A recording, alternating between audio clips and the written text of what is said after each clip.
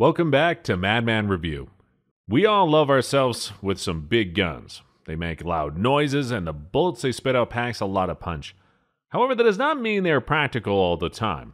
If you want to actually use and have fun in the field, you want something a little more modest. Something like the 22LR fits the bill and it's widely used. For one, 22LR rifles are a perfect option for novice gun enthusiasts since they are very easy to use. Even veteran firearm owners revisit their 22LR collection for old time's sake. These rifles are well rounded, meaning that they're versatile tools in the field regardless of your purpose. Home defense, hunting, target practice? 22LR rifles can do it all. Moreover, 22LR ammo is available in abundance, making it easy for novice shooters to practice without worrying about the budget. Given the caliber's small size, the recoil is also manageable even for young shooters. Thanks to their popularity, literally every manufacturer is making at least one rifle in that chambering. For this reason, I have here a list of 10 22LR rifles for you that I think is worth every penny. The Henry Golden Boy.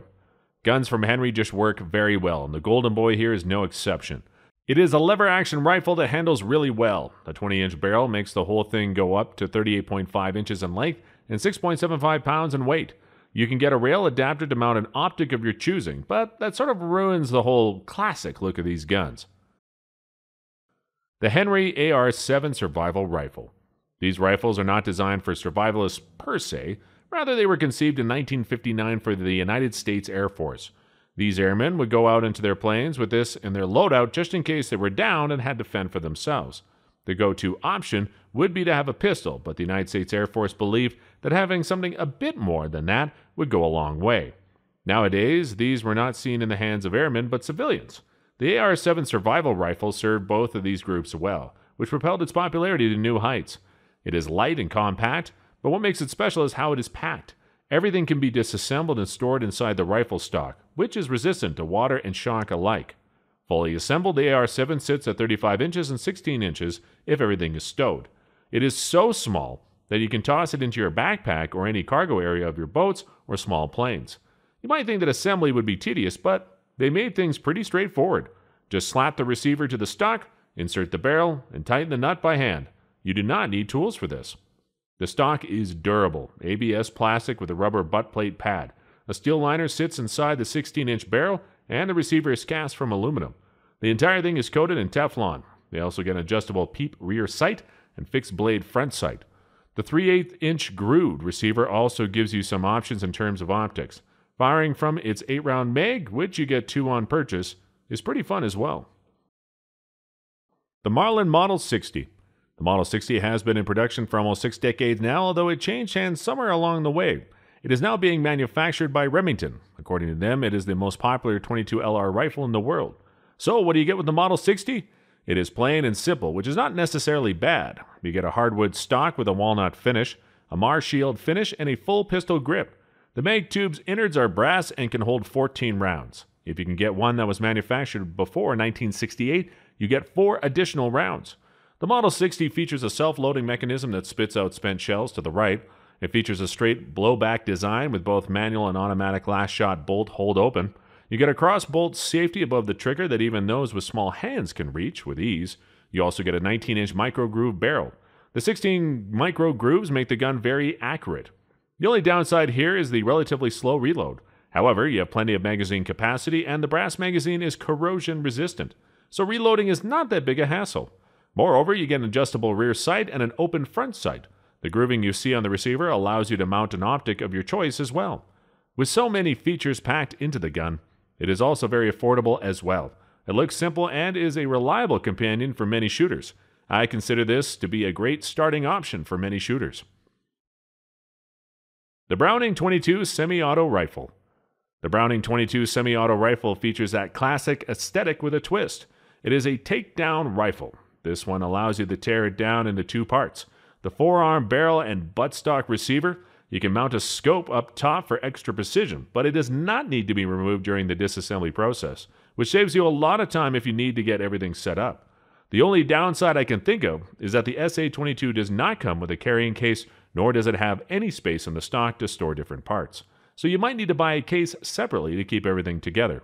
The forearm and stock are made with checkered American walnut complete with a glossy finish.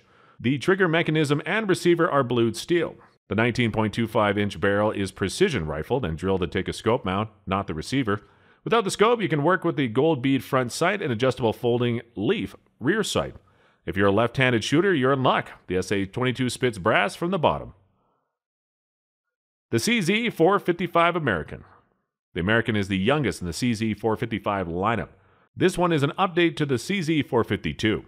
The 455 American lacks a long history compared to the Model 60 or the versatility of other collapsible guns, but it does have a few neat features worth mentioning. One of them is the interchangeable barrel. That means the CZ 455 is capable of shooting different calibers with the same gun. In short, it serves as multiple rifles for the price of one. Changing out the barrel is straightforward.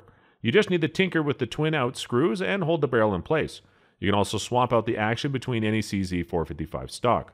For the stock, it is Turkish walnut, and you get an 11mm dovetail rail up top.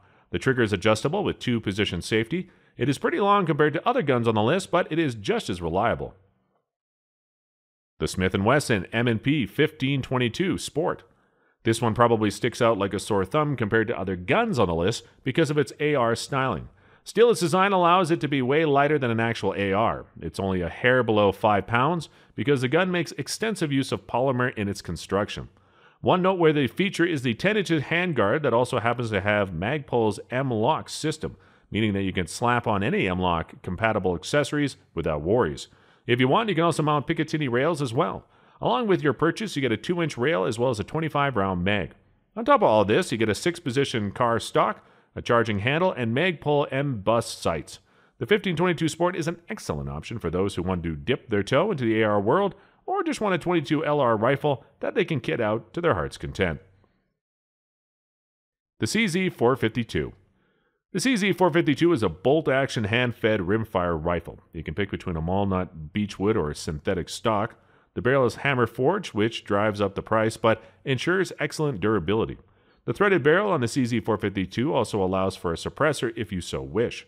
The receiver is made from a single billet of steel, which also takes a fair bit of work to work into a functional piece, but also guarantees durability. It comes with a milled dovetail for scopes. To complete the set, the CZ452 comes with an adjustable trigger and a detachable 5 round magazine. You can get single shot adapters or a 10 round mag as well. For left handed shooters, there are left handed models as well. Young shooters can opt for the Scout version as the short is shortened, making the gun easier to work with. Not to mention the single round loading device. The only real downside I can think of is the two position safety switch, which works differently from other firearms for some reason. To disengage the safety, you need to push the safety button back towards yourself and forward to engage it. Other than that, the CZ452 is accurate and reliable, not to mention diverse in its models, and many shooters will enjoy shooting this for a very long time. The Ruger 1022 Takedown. This, Ruger claims, is the most popular 22 series ever in the world. Given how well the Ruger 1022 performs out in the field, what Ruger said is not far from the truth. Here, I want to talk about the 1022 takedown specifically. The takedown is similar to the AR7 above in the sense that you can disassemble and reassemble it with ease. However, the takedown has its own storage case that you can stow away in your backpack. This case also has enough real estate for ammo and other accessories. Of course, well, the case of the takedown looks a lot better than the AR7 storage stock. It is neither stock nor water resistant. You also get more shots in the magazine, 10 of them. The Ruger 1022 takedown is reliable and will serve you well in the field. You can get it with an 18.5 inch barrel or a 16.62 inch barrel. The first option comes with a brushed aluminum receiver, and the second one has a black alloy receiver. Weight wise, the takedown is heavier. Both variants are precision rifled and cold hammer forged, and they come with a black synthetic stock. Other features include a positive push button, cross bolt manual safety, as well as a combination scope base adapter compatible with Weaver style and 22 tip off scope mounts. The takedown is also highly customizable. The Ruger 1022 Charger. The Ruger 1022 Charger is the kind of gun you can fit into your backpack the same way the Ruger 1022 Takedown is.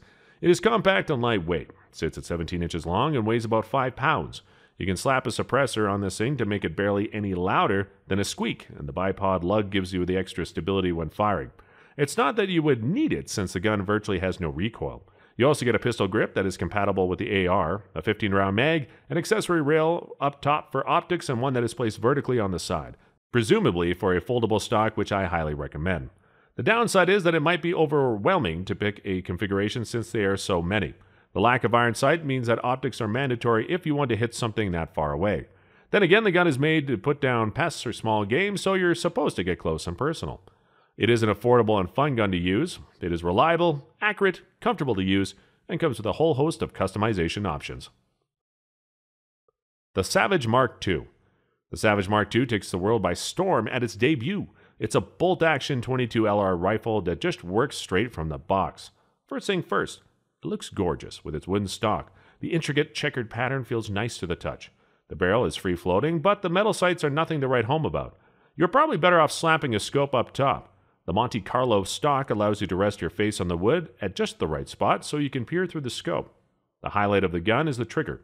You can adjust its pull weight after taking apart the stock from the barrel and action.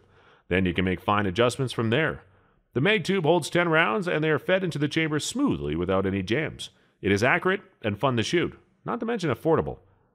And there you have it, folks. These are my top pick for 22 LR firearms. Of course, this is just my opinion. And you do not have to agree with everything I've just said. But what do you think? Do you own any of these firearms? What is your experience with it? Let us know in the comment section below. If you enjoyed this video, make sure to give us a like and subscribe to our channel for more content like this. Also, make sure to hit that bell icon so you don't miss out when we release a new episode. Thank you so much for watching, and I will see you again next time.